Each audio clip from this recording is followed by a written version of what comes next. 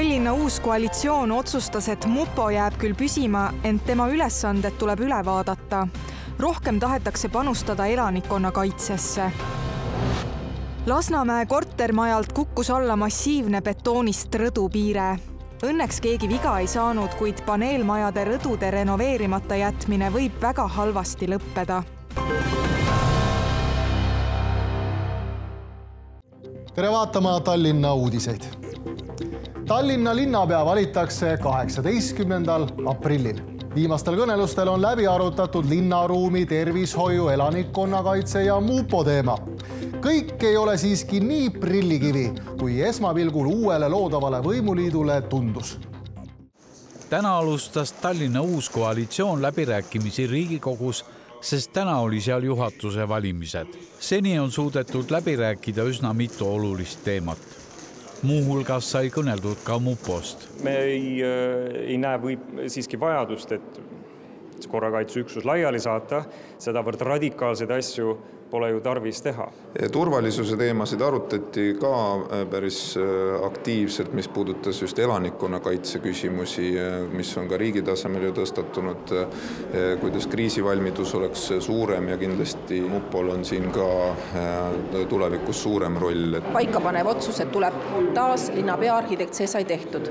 me vabastame inimesed siis lumekoristuse teoorjusest, et selle otsuse me langetasime täna. me oleme oma loodava koalitsiooniga jõudnud praegu täna hommikul rääkida põgusalt veel haiglatest, tervishoiust, lihvida seal veel punkte ja arusaamu ning lumekoristusest oleme siis jõudnud täna rääkida ka. Isamaal on siiani keelel ja meelel valimisõigus ainult Euroopa Liidu kodanikele me oleme Isamaaga algusest saadik öelnud, et volikogu otsustuskogus ei tohiks olla neid isikuid, kes töötavad Russki Mirri ehk siis Vene mõjuvälja äh, dominandi saavutamiseks. Eesti kahesaja delegatsiooni juht Marek Reinaas peab aga kõige olulisemaks soovitud kulude tabelit. me oleme koostanud siis Äh, soovitud investeeringute ja kulude äh, tabeli, eks me peame nüüd äh, väga tõsise töö tulemusena võtma punase pastaka kätte ja vaatama, mida sealt päriselt teha annab ja mida ei anna. Tundub, et uue võimuliidu sünd ei ole enam mägede taga. siiski uue linnapea ja linnavalitsuse tööle asumiseni läheb veel veidi aega. Lasnamäe kortermajal alla kukkunud betoonist rõdupiire õnneks kellelegi pähe ei kukkunud, kuid juhtunu tuletab meelde, kui oluline on hoida oma maja heas korras ning aeg-ajalt seda ka kontrollida. kõige ohtlikumad ongi just rõdude metallist kinnitused, mis aastakümnete jooksul läbi roostetavad Lasnamäel kukkus alla Kalevipoja põik, üheksakordse korterelamu kolmanda korruse rõdupiire. Õnneks keegi õnnetuse hetkel läheduses ei viibinud ja vigastada ei saanud. raske betoonplaat on alla kukkunud, oleks eh, keegi sinna alla jäänud, oleks kindlasti surma saanud. nii et eh, see on väga ohtlik olukord, mis on tekkinud ja kindlasti korteriühistud peaksid eh, veenduma oma maja tehnilises seisukorras, et selliseid asju ei juhtuks juhtumile annab lõpliku hinnangu Tarbijakaitse ja Tehnilise Järelevalve Ameti ekspertiis, ent Kurnitski sõnul on vaatluse põhjal näha, et konkreetsel hoonel on küll renoveeritud fassaad, kuid mitte rõdud see rõdupiirete läbiroostetamine ei saa olla üllatus korteriühistule. Nii et nende tehniline seisukord on ilmselt juba viimased kümme aastat olnud puudulik ja see kindlasti oleks pidanud välja tulema ka selle renoveerimistööde käigus, mis on teostatud. kui teostada kortermaja tervikrenoveerimine KredExi toel, on taolised juhtumid välistatud, kuna toetuse saamisele eelneb ekspertiis nende majade tüüpprobleem mitte ainult Lasnamäel, vaid ka Mustamäel ja Õismäel on tõesti see, et need metallkinnitused roostetavad aja jooksul läbi. Need kõik majad on tänaseks nelikümmend aastat vanad juba ja need võivad olla varisemisohtlikud tegelikult igal pool Kurnitski sõnul laekub paneelmajade tervikrenoveerimise avaldusi enim Mustamäe ühistutelt, Lasnamäelt paraku vaid üksikud. ometi on linnatoetus kättesaadav kõikidele korteriühistutele Tallinna linna poolt äh, pakume me äh, nii auditeerimise äh, toetamist kui ka, kui peaks peale auditi selguma, et rõdudega või varikatusega on mingisugune tõsisem mure, siis Tallinna linn jällegi toetab töid. auditi puhul on Tallinna linna toetuse määr kuni tuhat eurot ja tööde teostamise puhul kuni kümme tuhat eurot täpsemat teavet korteriühistutele mõeldud toetuste kohta leiab Tallinna linna veebilehelt aga Mustamäele ja Haabersti linnaossa tuleb juurde uusi eluasemeid. üks planeering on algatatud Järveotsa teele ning teine Mäepealse tänaval ootab linnavolikogu heakskiitu Järveotsa tee nelikümmend kuus kinnistul asub praegu autoparkla, küll on aga sinna algatatud detailplaneering, mis näeb ette kuni kolmekorruselise ärihoone ning kaks kuni neljakorruselist äriruumidega korterelamut. hetkel on plaanitud sinna sada kakskümmend tükki, keskmine suurus korteritel tuli kaheksakümmend seitse ruutmeetrit ühe korteri suurus. täna esmased juba siuksed nagu võib-olla läbirääkimised paari suure toidupoe jaeketiga juba olemas, on ju, kes oleks huvitatud sinna tulemast, on ju, nurgapealne pood võiks olla nagu linna inimestele ka vajalik. uute hoonete arhitektuurilise väärtuse tõstmiseks tuleb aga arendajal korraldada ka arhitektuurikonkurss. just äh, seetõttu, et äh, tegemist on siis äh, linnaehitusliku dominandiga, mis on kolmest küljest vaadeldav ja, ja seal see mõistlikuna tundub. ka Mäepealse kakskümmend üks A kinnistu on hetkel seotud autodega. nimelt asub seal autode müügiplats kui aga detailplaneering vastu võetakse, rajatakse krundile nelja ja kuuekorruseline äriruumidega korterelamu ning kahe kuni neljakorruseline korterelamu.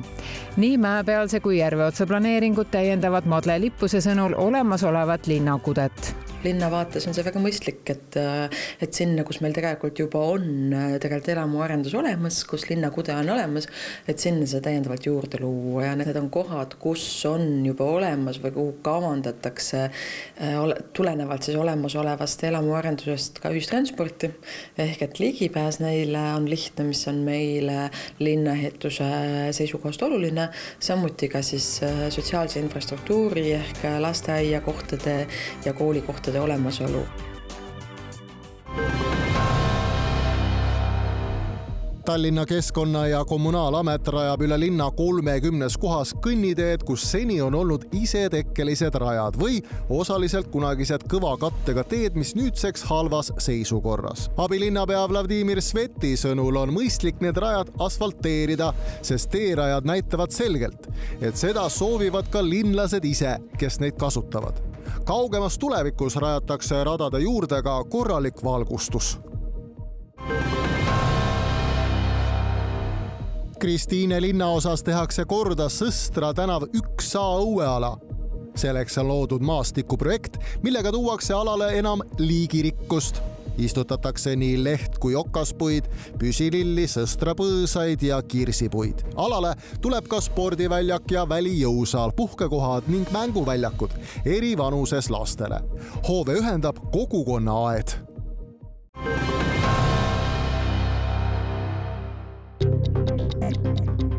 sel aastal möödub kakskümmend aastat Eesti liitumisest NATO-ga.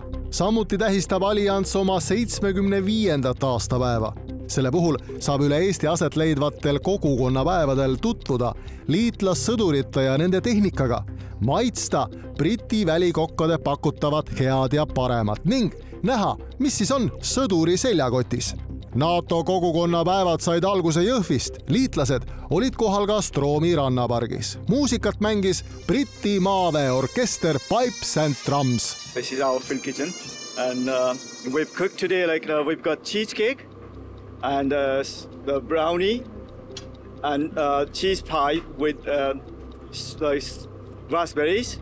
Have just been a great chance for NATO partners to come all around Estonia to show people what we do, show people that we're here, and it's a fantastic opportunity for us to meet our partners from multiple different nations, and it's just been great.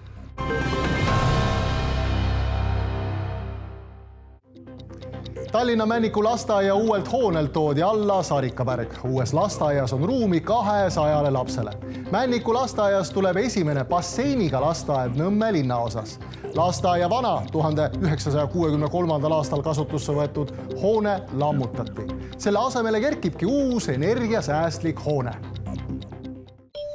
Tallinna eesmärk on kaasajastada kahe tuhande kolmekümnendaks aastaks kogu kooli ja lasteaiavõrk kahe tuhande kahekümne neljandal aastal investeerib linn lasteaedade uuendamisse üle kolmekümne kaheksa miljoni euro. kui me räägime laiemalt linnast, siis ette valmistatud on päris paljude lasteaedade ja koolide nii projekteerimishanked kui ehitushanked ja haridustaristusse Tallinn, ma usun, et tulevikus panustab ka kümnete ja kümnete miljonitega aastal kaks tuhat kakskümmend neli on Tallinnas valmimas mitu lasteaeda. juulis avatakse lasteaed Maasikas Põhja-Tallinnas, augustis Magdalena lasteaed kesklinnas. sügisel avavad oma uksed kaks lasteaeda Nõmmel, Männiku lasteaed novembris ja Männi-Mudila detsembris kui lasteaedadega on ring peal, siis tegelikult väga ootab remonti Hiiu põhikool ja peale seda ka Nõmme põhikool ja ega kaugel maas ei ole ka Rahumäe ja Kivimäe põhikoolid kas need planeeringud ja projektid on juba volikogus laual? Hiiu põhikooli projekti juba valmistatakse ette ja ka Nõmmel eeltööd äh, toimuvad uus Männiku lasteaed on investeering lastesse nende õnnelikku lapsepõlve ja kaasaegse õpikeskkonna tagamiseks. majja tuleb kaks avarat saali, huviklassid, talveaed, ujula.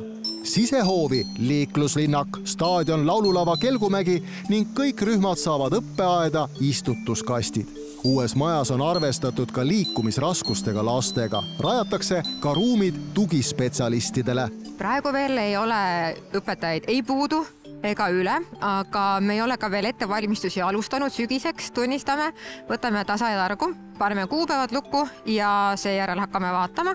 kindlasti me ei taha sõpradelt, lasteaedadelt kolleege ära võtta üle, et ikkagi loodame leida jällegi uusi ja noori kolleege. aga kus lapsed praegu on? Lapsed on mööda Tallinnat laiali.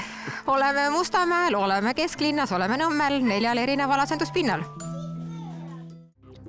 Tammsaare pargis avati näitus, kus on kujutatud juulikuus Tallinnas toimuva Tall Ships Races raames siia saabuvaid laevu.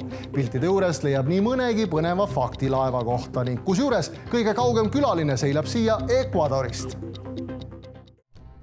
Tall Ships Races on maailma suurim ning pikkade traditsioonidega purjeõppelaevade regatt, mis toob sel suvel Tallinna kolme sadamasse üle kuuekümne purjelaeva nii lähiriikidest, kaugemalt Euroopast kui ka Brasiiliast ja Ecuadorist. Erilisi laevu on terve hulk, aga võib-olla kõige kaugemaks külaliseks võib välja tuua meil siin selja taga oleva äh, Ecuadori riigi mereväe õppelaeva Kaiase äh, ta on siis hetkel teadaolevatest laevadest ainukene, kes tuleb Vaikse ookeani poole pealt. läbi Tammsaare pargi kõndides tasub kindlasti nendele ilusatele piltidele, ilusatel laevadel pilk peale visata. ja siin näitusel saab siis vaadata üheteistkümne laeva fotosid ja tutvuda nende ajalooga ja päritoluga, et see annab väikese ülevaate, eh, kui erinevad ja kui huvitavad need laevad on, kes siia Eestisse tulevad. me oleme väga kaua seda oodanud, me oleme tõesti selleks eh, valmistunud ja, ja me tõesti ootame põnevusega seda suve. regati üheks peamiseks eesmärgiks on anda hoogu purjeõppele pakkuda viieteist kuni kahekümne viie aastastele noortele meresõidukogemust ja võimalust end proovile panna. Tallinna linn pakub stipendiumi saja neljakümnele linna noorele, et saada osa sellest erilisest regatist. tänaseks on saanud juba kinnitava vastuse natuke üle saja kahekümne noore ehk nemad saavad minna sellele regatile ja just aprilli alguses nüüd alustasime selle toetuse teise nii-öelda ringiga kus veel suurusjärk nelikümmend viis noort saavad siis võimaluse Tallinna toetusega merele minna. kõigil merehuvilistel tasub kindlasti pilk peal hoida Tall Ships Tallinn koduleheküljel, kus järk-järgult hakatakse programmi avalikustama. Tall Ships Races purjeregatt toimub üheteistkümnendast neljateistkümnenda juulini Lennusadamas, Noblessneri sadamas ja Vanasadama kruiisialal neljapäeval oli täitsa ilus ilm, aga Keskkonnaagentuur lubab ikka veel lund. siiski, pühapäeval viisteist ja esmaspäeval juba kuusteist kraadi sooja tulemas. vaatame üle Tallinna ilmateate